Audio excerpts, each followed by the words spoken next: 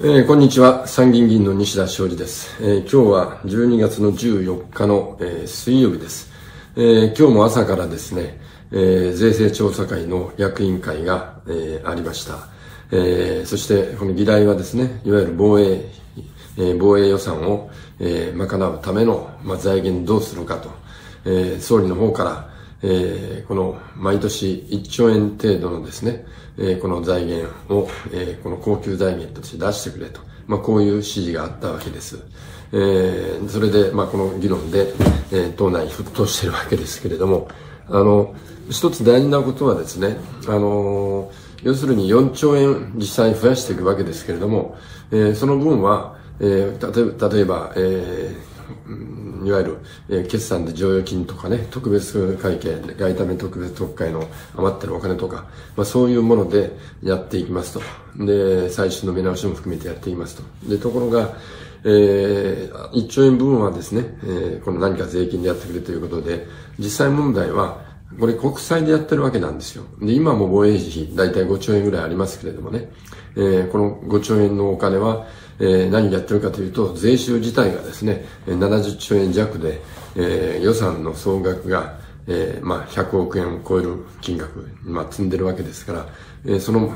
えー、30兆円分が国債でやってるわけです。ですから、予算全体の、まあ、3割は、えー、国債でやってるというのが現実なんですね。で、えー、どのためにどのお金を使うというのは印ついてませんから、消費税なんかもですね、まあ、えー、20兆円、えー、今日二十数兆円ありますけれども、まあ、それは福祉のために使ってるんだと言ってますけれども、あの、福祉予算だってそれでは全然足りないわけなんですね。で、要は大事なことは、えー、この税と財源の関係で言うと、財源が税だという論法で、え、語る人が、まあ、自民党の中にもものすごく多いんですね。で、それはもう誤った認識で、えー、これ財務省はそういうふうにみんなにレクチャーしてきたし、えー、さらに、あの、財政、えー、学者でもそういうふうに説明しますからね。当然、えー、財源は税で、その税で取ったお金を、えー、国民に分配するのが予算だと、こういうふうに思ってるんですが、これ全く事実ではありません。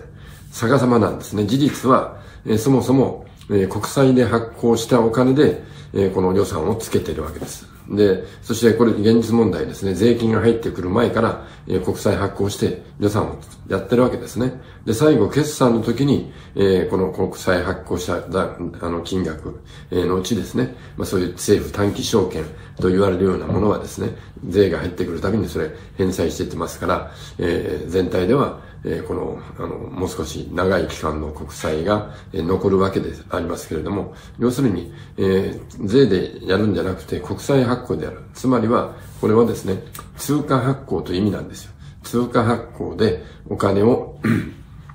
どんどん、えー、この国民側に予算執行することによって、お金を、通貨を供給していることになる。で、通貨を供給しますと、当然受ける側はですね、何らかの所得が発生しますよね。だからその所得で発生したものが、所得が発生したもの、つまりそういう売上から、えー、原価、えー、そして経費を引いた残りについてですね、えー、この税金で、所得税で、えー、このお金を戻し、国の方に戻してもらう。法人税で国の方に戻してもらう。まあ、そしてそれ以外にですね、消費税で、えー、戻してもらう。という形になってるわけなんですね。さて、ここからが問題なんですけれども、えー、私がずっと言ってるのはですね、えー、そもそも予算は財源があってやるもんじゃなくて、えー、必要なところに必要な予算をつけていく。特に災害とか戦争とかですね、え、パンデミックとか、こういう、え、国家の一大事の時にはですね、え、財源がないからやらない。つまり税金がないからやらないんじゃなくて、やらなきゃならないんです。通貨発行でやればいいんです。そして実際問題、え、この、いわゆるパンデミック対策でですね、えー、このものすごい大きなお金、100兆円規模のお金を使ってるわけですね。これ全部通貨発行ですよ。えー、国債でやったということは。で、同じく、えー、今回のウクライナ問題を契機にですね、防衛予算を倍増していく。それも通貨発行でやればいいんです。えー、実際そしてそういう、大半はそういう形でやるわけです。で、ところが、もう片っぽで財源話になってきて、えー、話がねじれてくるんですけれども、えー、財源ではなくて、えー、その、え税というのはですね、世の中を調整する道具なんですね。え通貨の、えこの対流を、えしっかり回していく。で、ある人と、したところに溜まったり、格差になったり、もうそういうことにならないように溜まったお金を取り戻していくというのが税なんですね。で、そういう認識で私はこの税調の議論してきたわけですけれども、そこで、まあ総理がですね、1兆円、えー、余りはとにかく、えー、税でやってもらいたいという話ありましたが、私はやるんだったらですね、当然のことながら法人税しかないというのが私の意見なんですよ。で、それは何かというと、今の、あの、日本の、えー、税収、えー、70兆円ぐらいあるんですけれどもね、それを、えー、どの税で賄っているかというのを見るとですね、大体3割ぐらいが、えー、この、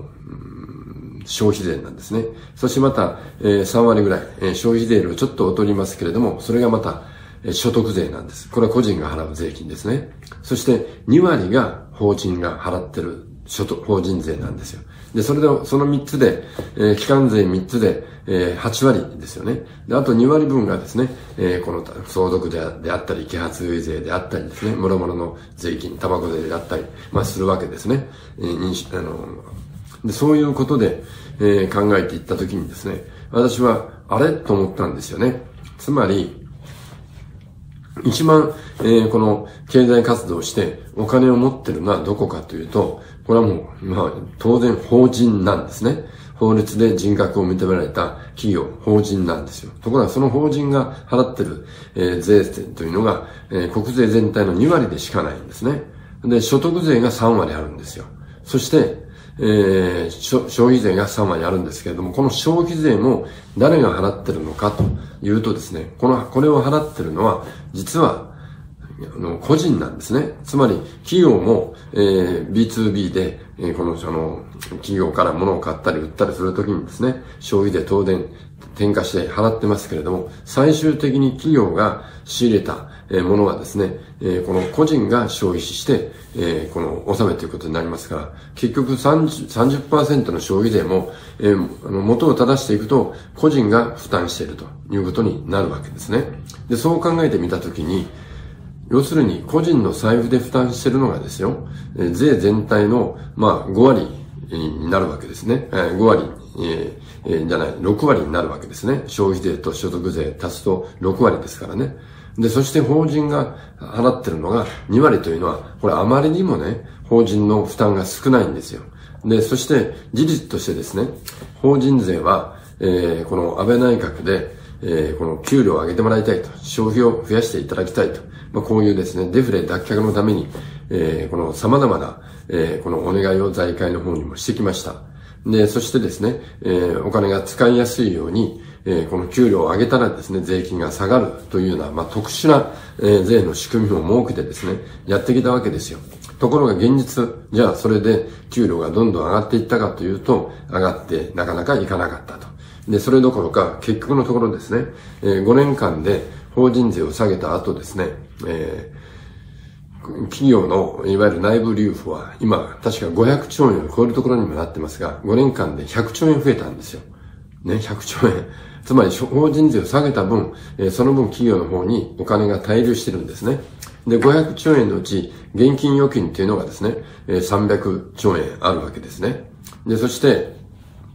これを、えー、300兆円のお金があるんだけど、そこにもちろん借金もあります。しかし企業全体で見るとですね、負債の額、借金の額よりも、この預貯金の額の方が多いんですよ。つまり貯蓄超過という状態がずっとこれ日本続いてきてるんですね。で、これはどういう意味かというと、結局企業は利益を出たけれども、お金を使ってないということなんですよ。で、企業が一番経済の力を持っている民間企業がお金を使わずに貯めていくと経済どうなるかと。当然デフレになるわけですね。まさに今の日本の問題というのは、ここに尽きるわけですね。で、よく財政再建の話を言う方はですね、えー、このいわゆる政府の負債、これが今1200兆円ですから GDP の2倍以上あるじゃないか。こんな国は日本しかないんだ。えー、なんとかこれをですね、えー、少なくしないと大変なことになるという話で財政再建を訴えてるんですが、これ全く見どころが間違っていて、えー、政府の1200兆円の負債があるのは事実ですけれども、そのお金はどこに行ってるのかというと民間企業に回っているわけですね。で、それを、えー、この通貨供給をして予算執行して民間に行ってるんだけども、それを使わずに貯めてきてしまってる。現実に、えー、この5年間で100兆円も増えてるわけですね。で、これが実は異常なことで、民間企業がお金を投資していきませんから、民間の負債残高というのはずっと増えてないわけですね。この、ね、10年、20年、不良債権処理以降。で、その結果ですね、要するに民間の負債が増えてこの民間の負債が増えていないという国は日本だけなんですよ。だから民間の負債が増えてないから、結局投資が進まずに、そして税収も増えずに、えー、その足らずまいの分が赤字国債が積み上げてくると。まあ、こういうことが、日本がですね、えー、この停滞を20年も続けた一番の根本の理由。で、それが、えー、それに輪をかけてきたのが実は法人税を下げたことなんだということがもうはっきりと事実として出てるわけですね。で、そこで私は今回の、えー、防衛費を増強するにあたりですね、えー、やるんだったらですね、えー、そもそも、えー、防衛費は、えー、この、国民に薄く広くした負担してもらうべきだと言ってますけども、そもそも、今すでにですよ、6割が、税収の6割が個人が払ってるわけですよ。所得税と消費税を作ったら。ね。だからそれ以上、こちらの方に負担を増やすというのは大間違いと。増やすんだったらですよ、この内部留保を溜め込んでしまっている、結果的にそうなっているですね、企業部門から税を取るべきだと。ということをずっと主張していたわけです。で、今日ですね、えー、この税調の役員会で、まあ、3つの案、そういう私が言ったように、法人税を上げるという案ですね。えー、それから、あと所得税、えー、これはもう、えー、復興税を、えー、この、下げた分だけ所得税を上げて、まあ、全体のですから、個人の負担増えないわけなんですけれどもね、えー、結局、えー、そういう案と、それからタバコ税を上げるという案がありましたけれども、まあ、やるんだったら法人税、えー、その意味は、先ほど言いま言いましたようにね、えー、この長年の法人税税率を下げたことの結果として、えー、内部留保が増えすぎて、えー、経済自身をデフレ化している元になっている。これを正すの、正すためのいい機会だと。ということで、私は、えー、何度も主張してきているわけであります。まあ、この後ですね、今日はこの後、昼から今度は平場の会、小委員会があってですね、えー、その後、また明日、えー、税調役員会ありますから、まあ、その中で、えー、最終的に決められていくと思いますけれどもね、えー、ぜひ皆さん方に、この法人が実際に払っている、えー、税、税金がですね、国税の中で基本的に2割しかないと。これはかなりおかしいんだと。で、そしてよく、えー、法人税下げて3割になったと、えー、いうのはですね、まあ、よその国もみんなその、そんな程度なんだというふうに言ってますが、これ大間違いですからね。あの、日本のヨーロッパも確かに3割ぐらいになってますけれども、その他にヨーロッパは付加価値税があるんですよ。で、これ日本の消費税のように思ってますけれども、日本の消費税は完全転嫁を義務付けてますから、最終的には消費者、個人が払うことになってしまってるんですよ。だから消費に対する税、罰金になってる。ところが、ヨーロッパの付加価値税はそういう仕組みじゃなくて、えー、その、えー、売上から仕入れを引いたこの付加価値の分にですね、一定税率をかけて、まあ2割ほどかけてるようですけれども、それは転換を義務付けてませんから、結局法人の利益で払ってるんですよ。だから、えー、結局第二法人税になってるわけで、この